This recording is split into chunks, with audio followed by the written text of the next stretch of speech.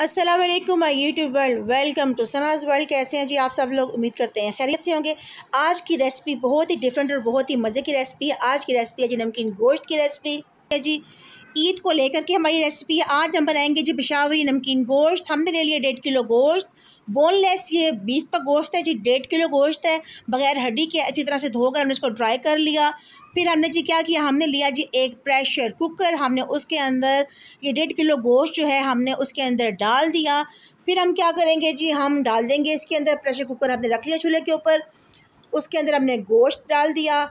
फिर हमने ले लिया जी पानी, आधा ग्लास पानी, ये देखिए फुल ग्लास पानी लिया, पर मैं डालूँगी आधा ग्लास आधा ग्लास पे छोड़ दूँगी, ठीक है? ये देख लें जी आप लोग। ये फुल ग्लास लिया है, आधा डाल रही हूँ, आधा मैंने छोड़ दिया है, बस और पानी नहीं डालना है। इसके अंदर ये इनफ है गोश्त अपना पानी भी छोड़ेगा, ठीक है जी?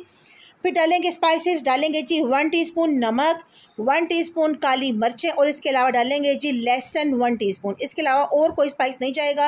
हिलाकर अच्छी तरह से फिर इसका हम जो ढक्कन है वो बंद कर देंगे, सीटी लगा देंगे। कुकर चलेगा तकरीबन पंद्रह से अठारह मिनट। गोश्त गल जाएगा उस दौरान में।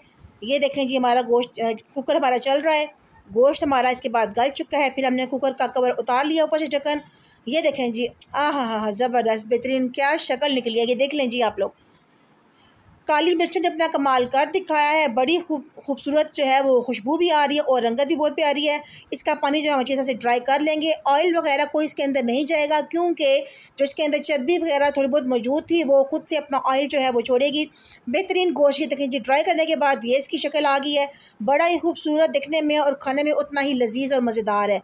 साथ हमने जो सैलड काट लिया है और हरा धनिया के साथ हमने इसकी गार्निशिंग कर ली है। बहुत ही मज़े का, बहुत ही बेहतरीन हमारा नमकीन गोश्त, पिशावरी नमकीन गोश्त बन गया। ये सलाद देख लीजिए सलाद हमारा जो घर में अवेलेबल था, हमने काट लिया है।